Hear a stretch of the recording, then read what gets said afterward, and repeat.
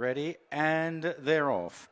Racing away for this, the Follow ad at the races on Twitter. Handicap dazzling away sharply on the inside. Kodiak Blue going to be ridden forward in the blue jacket. Cameron Noble out wide is Silks past the favourite, not getting a lot of cover through the first furlong. Just slotting in now under Jason Watson. Then Raj Meister, Jilly Cooper towards the outside in the blue-green epaulets worn by Neeraj Rawal. And at the back is Inarm as they race round the top turn and on towards the final four and a half furlongs. Dazzling the inside of Kodiak Blue. Rajmeister, Orange Jacket, Silks past Jilly Cooper and Inarm back on the inside.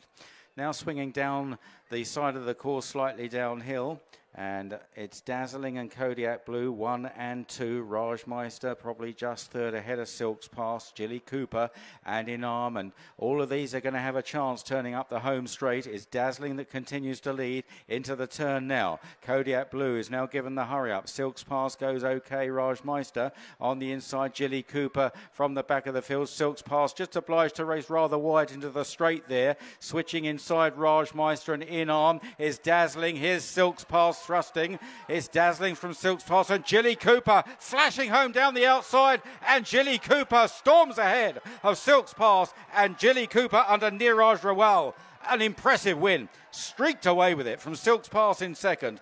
Done. That's, Thank you so much, sir. How was that? Oh, she was quite electric, you know, like was that always the plan to hold her up and use her speed? I, I want to be in a well up position, but she missed the break a little bit. You know, like the other was faster than her, so I gave her a chance to get behind them. You know, the danger was right there in front of me.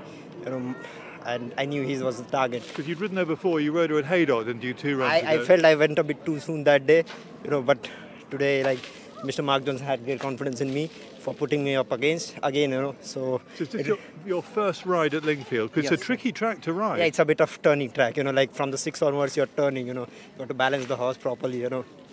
Don't get kicked.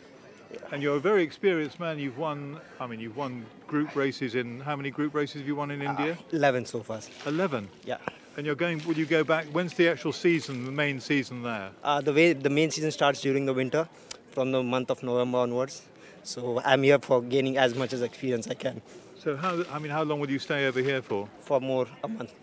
And, and with Mark Johnston, it must be a fantastic experience. He, he, gave me so much of confidence, you know, like coming over here, giving me rides, you know, like I really appreciate him uh, for giving me so much of chances, you know. But you're quite well trained.